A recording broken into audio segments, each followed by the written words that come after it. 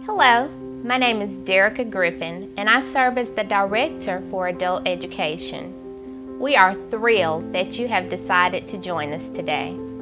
Whether you're here to work on your GED or high school diploma, or one of the many short-term certifications that our department offers, we know that you will be successful.